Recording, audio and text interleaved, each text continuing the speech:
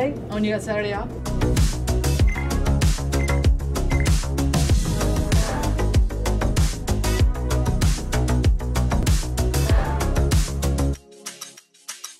Xin chào tất cả quý vị.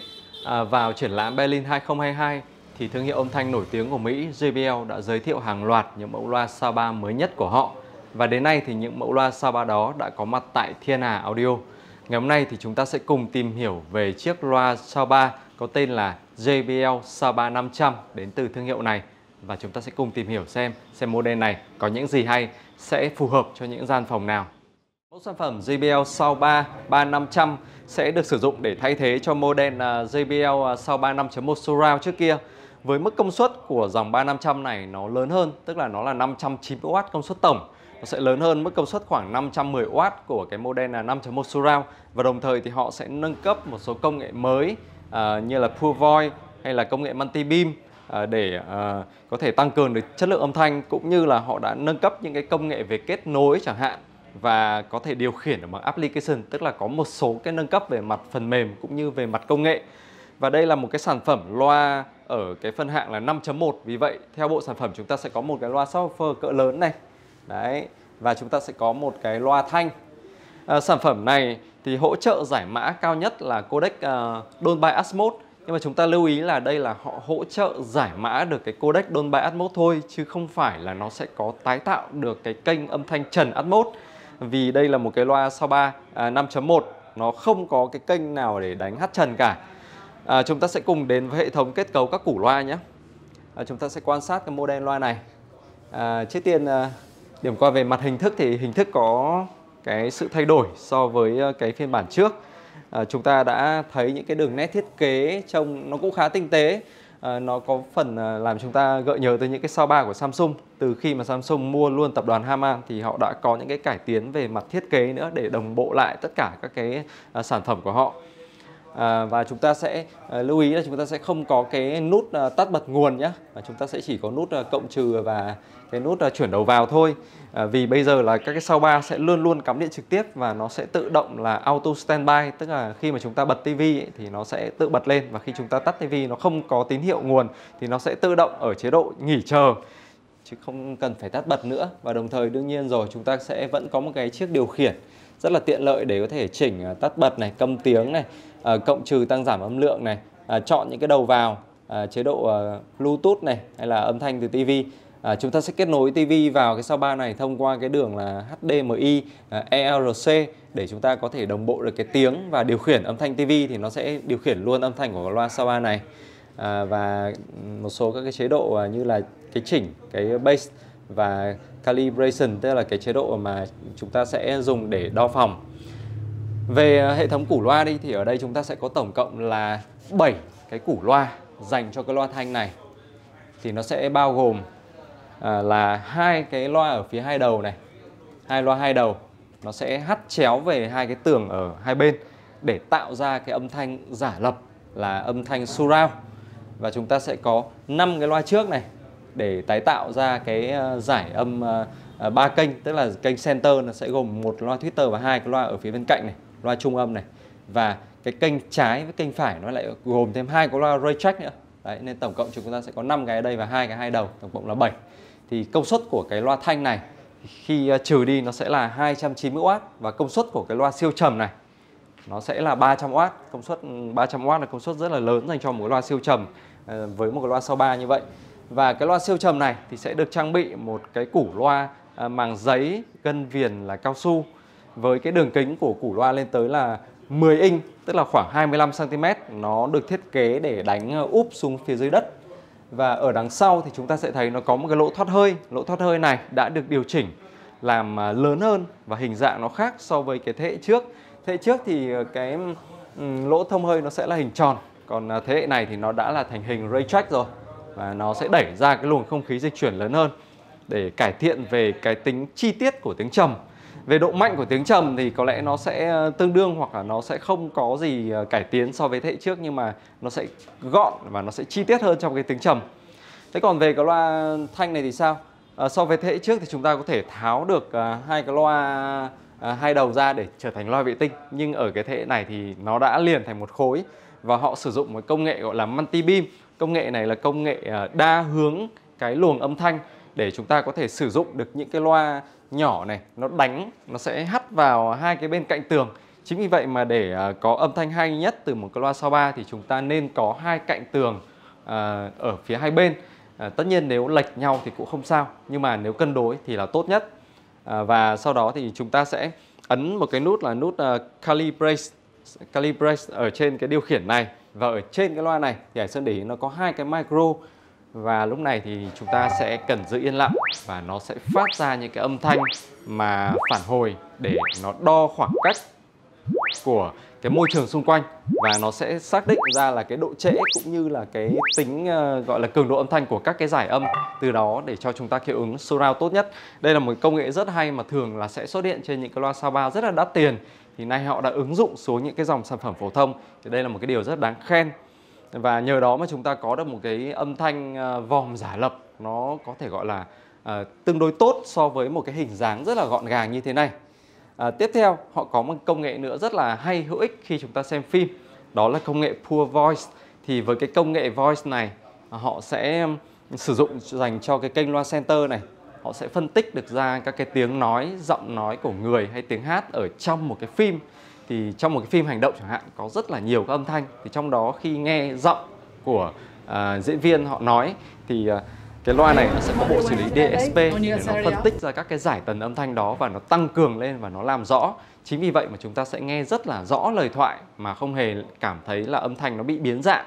Thì đây là một công nghệ rất là thích hợp để cho chúng ta xem phim à, và nó sẽ có những cái chế độ để cho chúng ta điều chỉnh như là xem movie này hay là nghe nhạc và xem thời sự chẳng hạn để có thể tối ưu. Và bây giờ chúng ta sẽ bắt đầu với phần mặt sau của cái chiếc loa này.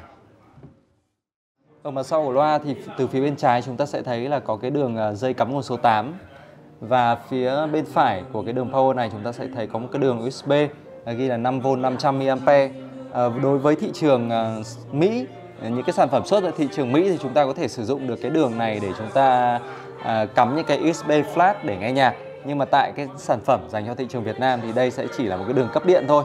À, chúng ta có thể kết nối Ethernet cho cái sản phẩm này cái dây cáp mạng LAN để cho cái uh, truyền tải tốt nhất. Nhưng chúng ta cũng có thể sử dụng luôn Wi-Fi mà không cần phải đến Ethernet. Thì à, cái hệ thống uh, mạng không dây của cái loa này nó hỗ trợ lên tới chuẩn là Wi-Fi 6 và có cả Bluetooth nữa. À, chúng ta có đường HDMI in này à, nhưng mà khi chúng ta xem từ TV ý, chúng ta sẽ chủ yếu cắm cái đường này là HDMI out với cái chuẩn là ARC thì lúc này nó sẽ đem theo cả cái dữ liệu uh, uh, tiếng từ cái TV xuống đây để chúng ta giải mã được cái âm thanh tốt hơn. Và nó có cả cái đường optical dành cho những cái thiết bị đấy cũ. Rồi các bạn sẽ vào App Store này và search cái phần mềm JBL One và chúng ta cài vào máy và sau đó là chúng ta sẽ kết nối điện và kết nối mạng cho cái loa JBL uh, à, à, sao ba của chúng ta. Thì cùng một mạng thì nó sẽ nhận ra. Đây nó sẽ nhận ra như này và nó ghi trạng thái là online. Và chúng ta sẽ ấn vào. Ở trong này thì chúng ta sẽ chuyển bài này và uh, chuyển những cái bài nhạc này. Ngoài ra thì chúng ta có thể uh, rất là hay là chúng ta sẽ add được các cái dịch vụ chơi nhạc này và chúng ta sẽ stream với nhạc chất lượng cao ra thẳng loa. Và với những cái model mà hỗ trợ cái chuẩn Dolby Atmos ấy ví dụ như là chúng ta có thể vào trang Tidal và chúng ta chơi những cái bài nhạc mà hỗ trợ chuẩn Dolby Atmos và nó sẽ stream thẳng ra loa với cái chất lượng âm thanh cao nhất. Rồi tiếp tục chúng ta có thể uh, bật equalizer này lên và chúng ta có thể chỉnh được bass và mid này và treble. Để cho nó vừa ý. Đấy hoặc là chúng ta có thể để phẳng này. Đấy. Cái uh, đây là một cái điều rất là hay mà cái thế hệ trước thì không làm được à, chúng ta sẽ vào tiếp phần remote control. Lúc này thì các bạn đã thấy là cái điện thoại này nó có cái giao diện sử dụng y hệt như cái remote điều khiển. À, chúng ta có thể sử dụng được tất cả trên cái điện thoại này.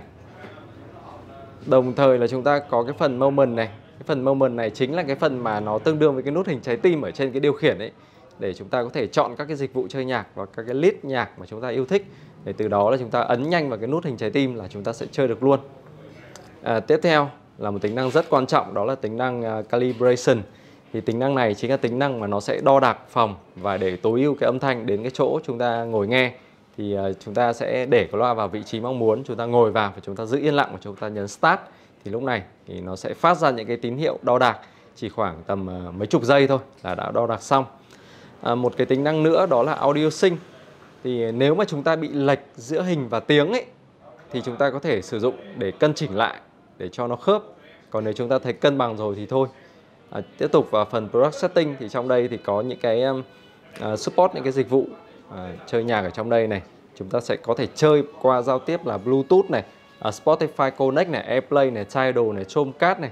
Rất nhiều các cái cách thức chơi nhạc và cũng có thể update phần mềm hay là uh, reset lại cái trạng thái của nhà máy. Uh, nói chung là phần mềm này bây giờ chỉnh rất là chuyên sâu.